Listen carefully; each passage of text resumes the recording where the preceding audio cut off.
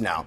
The Wattville community in Ekurhuleni is up in arms. They are upset over the release of a four-year-old Bokgabo Poo's alleged killer. In fact, the court acquitted uh, him as the evidence was inconclusive. Residents are now calling for justice and want the real killer arrested. Senior reporter Silindelo Masikane joins us now with the latest. Slee, where you are right now, there's a hive of activity. Community, uh, communities have come out in their numbers. Uh, there's strike action. Give us more detail. Certainly so. We're out here in the community of Wattville. Of course, this is where we know where Poo grew up. Um, all of four years old before her life was tragically and horrifically taken. We know, of course, that she went missing for a couple of days before her mutilated body was found. A young man called Ntokozo Zikhali was then arrested for her disappearance, for her murder, for her rape. And subsequently, it seems the justice system has failed not only Bokgabo's community, but uh, the family in particular. The committee has now come out in their numbers to call for justice. They are at this present moment marching to the Benoni Magistrates Court, uh, where we understand there will be an address and where we will be meeting uh, some of the family members. I just want to bring in a community representative to just give us some context as to why this was important. I'm going to ask him to introduce himself and then talk to me about why it was important for this community to come out today. So good morning. Just talk to me about the community of Wattville seemingly really wanting to voice out and show its frustration and its anger. Yes, uh, thank you. Uh, my name is Vuyo. Yes, indeed, as a community of Wattville, we have uh, gathered together to ensure that uh, because we are aggrieved uh, we are not satisfied in the manner in which um, the situation, the entire situation, was handled by the criminal justice system.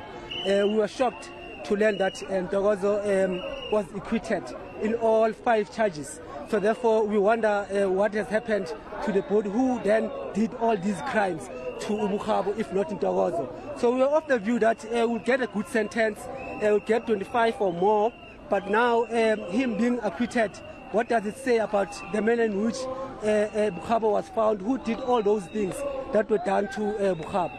Yeah. I see there's also a family representative here. Maybe talk to me about how the family is doing. Please introduce yourself. Uh, my name is uh, Johannes Spear.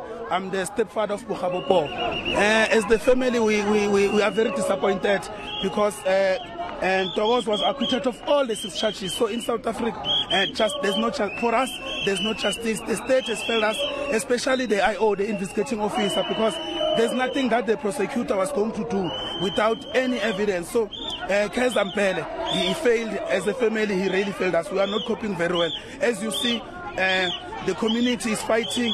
We, we, we hope maybe this case we can be able to reopen it again and start afresh with new evidence. Yeah. Thank you so much.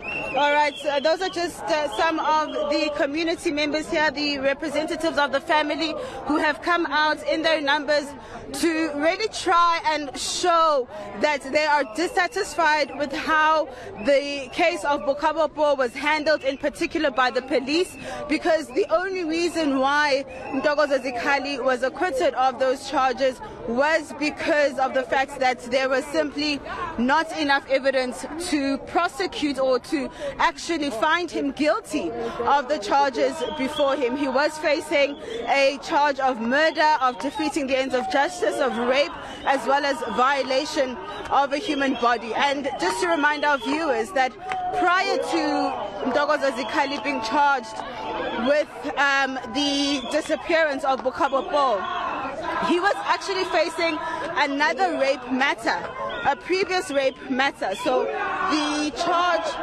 against him in terms of Bokgabo's disappearance was a second matter that uh, he was facing, and he has now, of course, been found not guilty of those charges. And the community of Wattville coming out to say that that is just simply not good enough, and uh, they are trying to see whether there are other options uh, in terms of perhaps uh, reopening the case or, or, finding justice for Bokgabo uh, in another manner. But this is just one of the ways that the community is wanting to voice as well as show its frustration with the justice system. That's